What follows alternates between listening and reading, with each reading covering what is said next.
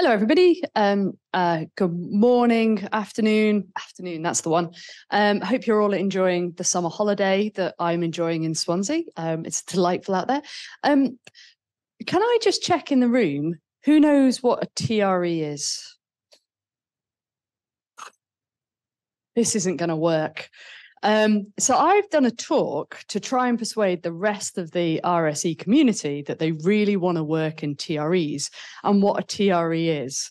And so I'm reckoning that perhaps this isn't quite the right talk to do for this particular audience. Does anybody on the Zoom want to raise their hand to see if they do or don't know about TRE? So it basically means I can probably skip through some of the stuff. Can I also ask, who saw me talk yesterday?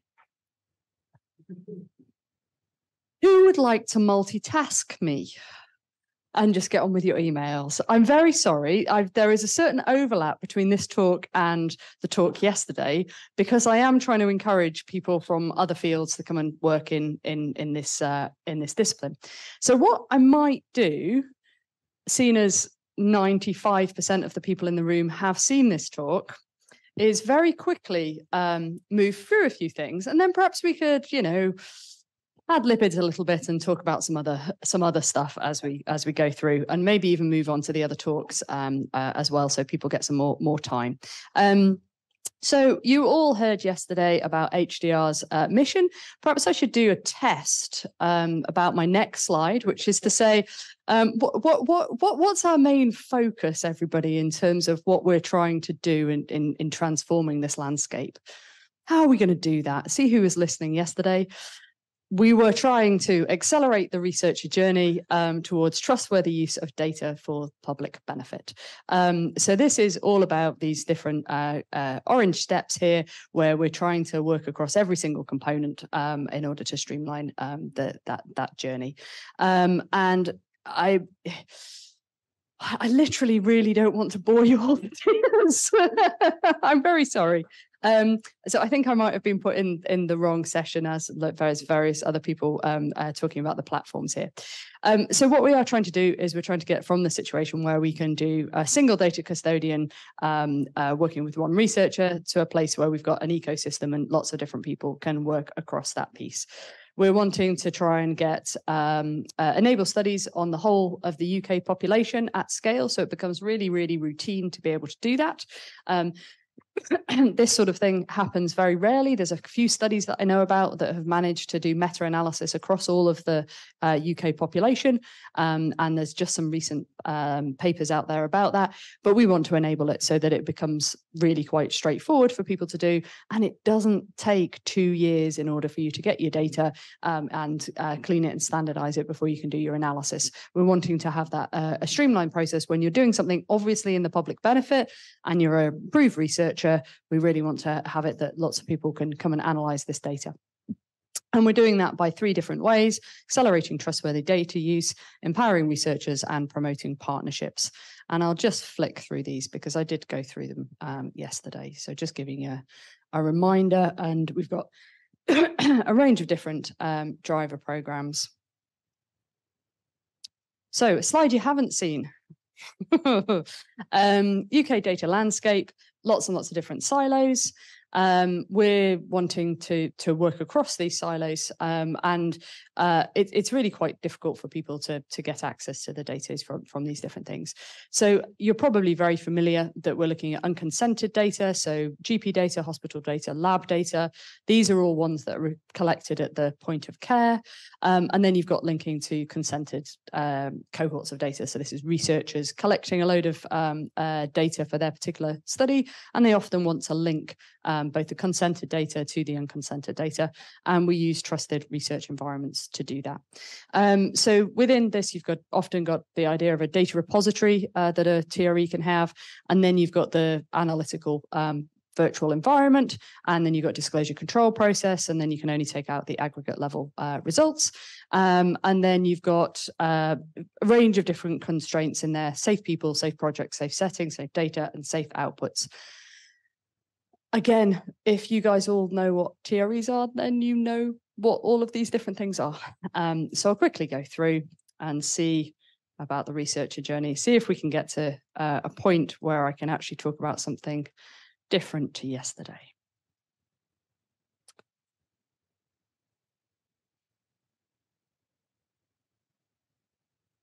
New slide.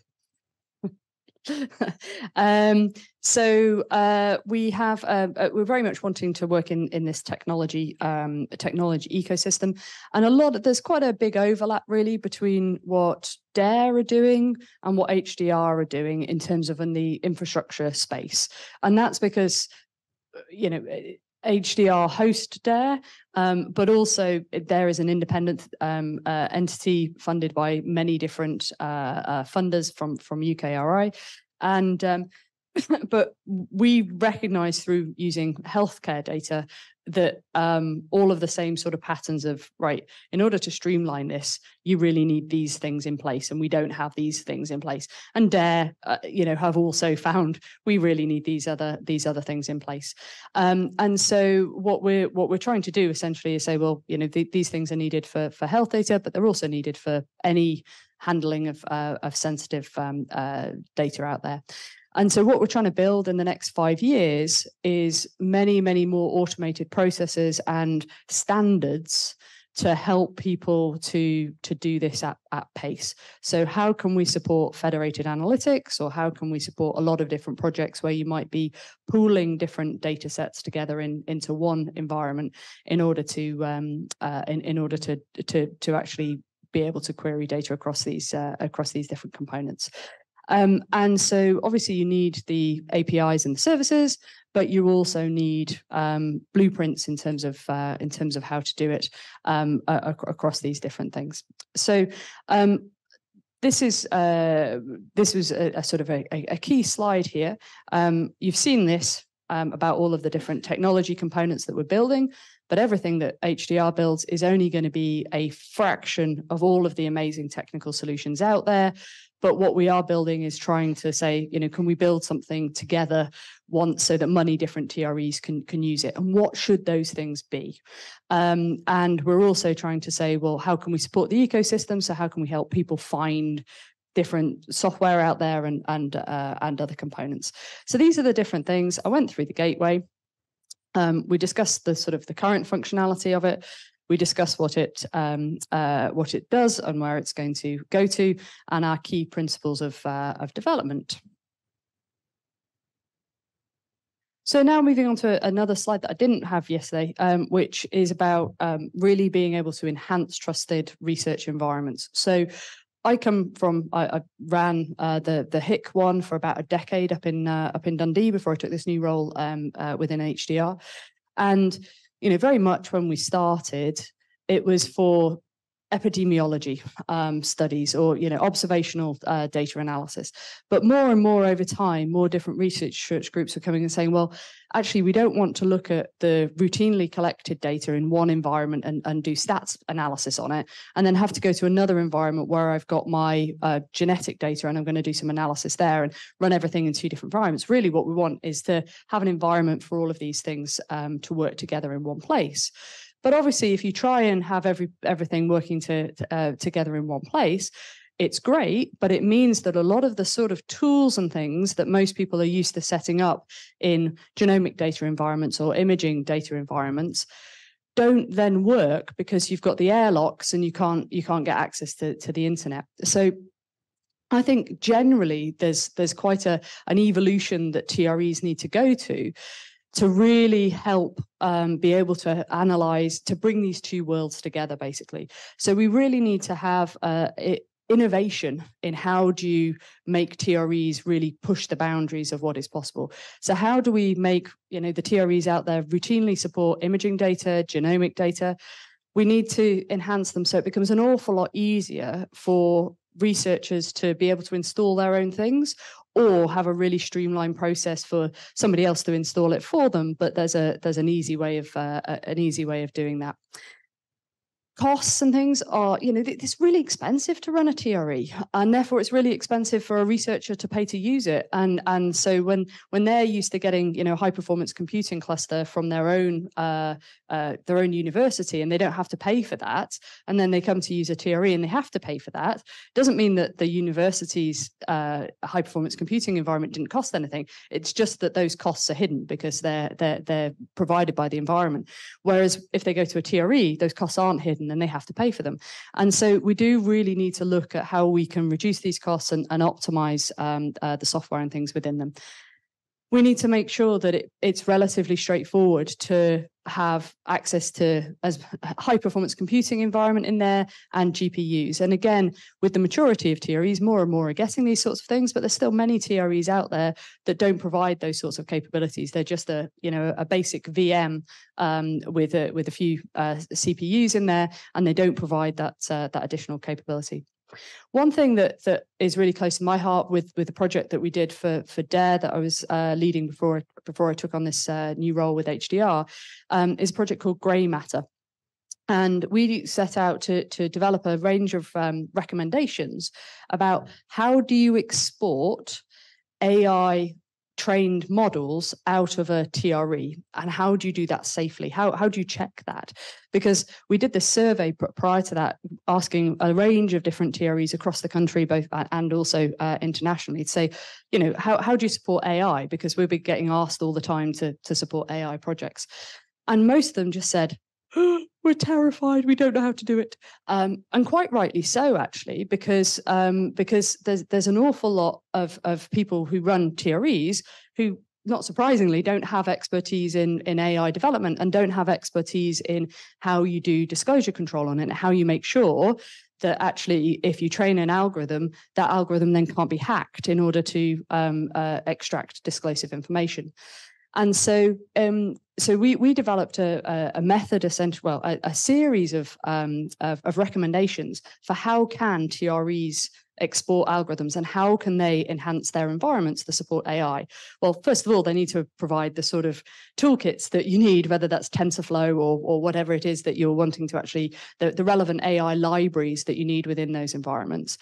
But then when it comes to disclosure control, you actually need people with real deep AI expertise to simulate what uh, what a hacker would do and actually query that model in order to make sure that you can't find disclosive information in there.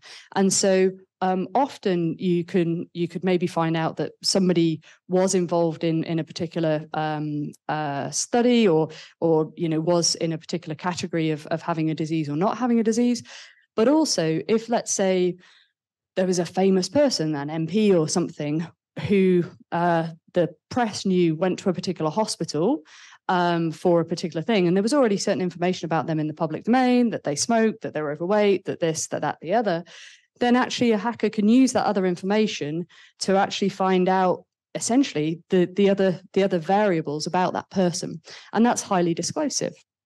And so, how do we check and how do we make sure when TREs don't have people in order to do that that that uh, that checking that that we can that we can do this. So there was a range of different um, uh, recommendations that we had both on the legal and information governance side to make sure that there were data user agreements in terms of the ai when it comes out of the tre that we could actually limit exposure to hacking via things like um, wrapping it in a web service and all of those sorts of things. So different different things.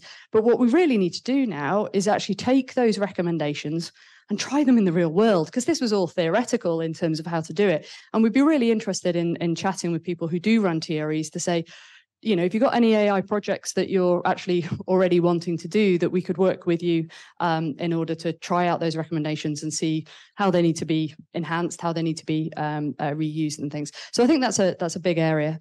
Um, so so in order to do this, I, I kind of think about this as being next generation TREs. How we need we're going to move from a place where people do stats package analysis stats analysis to to uh, on small data sets to really, really, really big data sets. And there's just a massive wave of AI projects coming. And AI desperately needs to train on these large sensitive data sets, it makes the AI result far, far better. But in order to do that, we really have to transform the way in which TREs work and and and uh, what we can do going forward. And this is a completely different talk than the one I was going to give, but there we go. Um, so um, so so let's uh, uh, uh, think about this as, as a bridge across two worlds. When you're looking at genetic data, you've got the real world of routinely collected data where you lock everything down, and then you've got the world of multi-omic data, and they're just different different setups and things. And we do have some really interesting, novel um, uh, research that we need to do to say how do we enhance these TREs. This isn't business as usual. Let's just run a service to do it. This is why we need research software engineers to say how can we do this? How can we innovate? How can we be world leading in in providing these sorts of uh, environments? So really, it's a plea to you guys to say, let's not just make what we've currently got, you know, a little bit better. Let's really transform what they can do, and let's really enable ourselves to be ready um, for this new world. Um, I talked yesterday about about DARE, and and I think um, I'm I'm uh, very much hoping that the next phase of DARE will actually significantly invest in this. How do we add capacity to TREs to enable them to do far more than they already do? But also how can we enable TREs to really work together to federate, to interoperate, so that actually, you know, we're really streamlining the researcher journey and it doesn't become an absolute hassle if you need to get data from more than one place, basically. Um, and so these are some of the great projects um, that um, I know different people have been doing talks on um, over the course of uh, over the course of the next few days. Um, and I would highly recommend people going and having a little uh, look at them, uh, particularly three of them. Might be slightly biased because I'm involved in three of them: um, uh, TRE-FX, SATRE, and um, and Sacro. Um, uh, uh, the the Sacro project is actually doing quite a bit of work on automated disclosure control. Um, but they've also been extending the work of the GRAIMatter project to say, can we actually, what can we do with the AI uh, tools in terms of the automated disclosure control as well?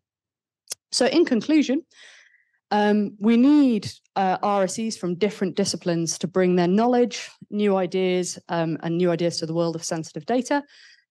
I'm preaching to the converted. Um, we very much care about community, RSE recognition and career development, standards and interoperability, and open source uh, development. So I will stop there and um, just ask you guys, who's really working on creating what I describe as a next generation TRE? Yeah, okay. Um, Okay, so um, well, there's a few questions there. Let's just start at the top, I guess. How far, uh, you mentioned at the start, I think, about the goals. How far away are you from being able to run analyses on the full UK population, which was the eventual goal? Um, so there, there, there are currently uh, papers out there that do that um, from uh, working on COVID projects across the four nations, um, and they've done data analysis um, in each of the different uh, uh, environments. They've standardized the data in each of the different environments enough that they can then ask those questions. They then export out the high level um, aggregate information, and they then do meta analysis on it. So this isn't about bringing all of that data into one place. That's about doing meta analysis, but we're also uh, so so for a meta-analysis project, we are doing um, data across the whole the whole of the UK population. We've still got a very long way to go if we're wanting to do things like proper federated analytics uh, analysis, where you can just query that and automatically um, pull that together. Uh, and the next one here is okay. So about Scottish healthcare data was consented by default. Is is that different in the? Is that not true? Um, no, uh, no. So Scottish st Scottish healthcare data is still uh, very much unconsented data and has to go for a process called uh, the uh, it's called PBAP, uh, Public Privacy Public Benefit and Privacy Panel um, and uh, and and that that's uh, it, it, doesn't it doesn't have the same the same route that you have to go through for for um, uh, uh for, for approvals in England, uh, but it still has a, a a route and it's unconsented. And I think we've only got time for one more question. And thankfully, there's one more question there. So one way to reduce cost and silos is just to have a single TRE rather than multiple ones in multiple different locations. Should we just have this monolithic data center and associated environment rather than multiple ones? Um, so um, I, I think for both um, uh, public concerns around doing that, um, and also for technical or practical reasons for doing that, um, it would be incredibly difficult to to to create such a such an environment. Um, so uh, there's there's a huge pushback from the bu- public about creating a, a permanently linked data set together. They uh, when a lot of surveys are done, they like the idea of linking to answer a specific question, but they also think that the data controller that originally um, collected the data should still be responsible for that data. So if you're wanting to put everything into one TRE, you're talking about linking all of the health data. We've got devolved nations already, so actually it's legally very different groups that actually host that, that different data. But then if you're wanting to look at health data and administrative data, you'd be looking at linking education data, police data, and health data all in one massive data warehouse. And personally, for me, I don't like the idea of my data being in a massive data warehouse with all of that information in there whatever controls um, uh, you know our future government uh, our current government might say you know we could put all the controls on. What about a future government that that that that, that maybe doesn't um, uh, look at those controls? So uh, it wouldn't make me feel comfortable but a lot of the public um, uh, work that we've done also says that that wouldn't be uh, uh, uh, people wouldn't be comfortable with that idea